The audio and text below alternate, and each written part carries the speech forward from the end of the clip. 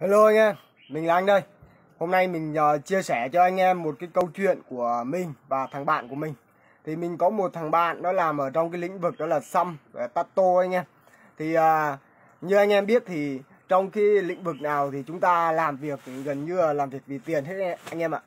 Gần như tất cả các dịch vụ, tất cả các sản phẩm mà mấy bố mấy mẹ mà bảo là làm việc vì đam mê thực là nói chuyện bốc phét cho vui thôi chứ thực chất là làm việc vì tiền hết còn thằng bạn của mình nhé thằng bạn của mình.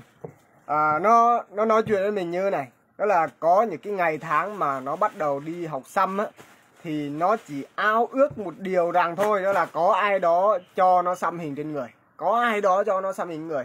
Từ ngày này sang ngày nọ nó cặm cụi nó chăm chỉ làm việc tới 1 2 giờ sáng chỉ là cứ xăm đi xăm lại một cái hình vậy thôi.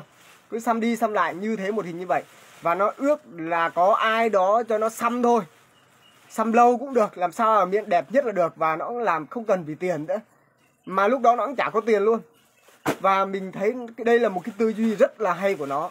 Và chính cái tư duy như thế này và nó đã khiến cho nó trở thành một trong những thợ xăm nổi tiếng ở Hồ Chí Minh và mình nghĩ nó sẽ nổi tiếng và nó sẽ rất rất thành công vào sau này nữa và cho tới bây giờ thì một cái hình xăm mà ví dụ như là kín bít lưng hoặc là bít tay của nó lên tới hàng trăm triệu đồng nó cũng nhận được bình thường.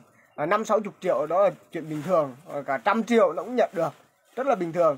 Nhưng mà mình thấy cái tư duy là rất là hay.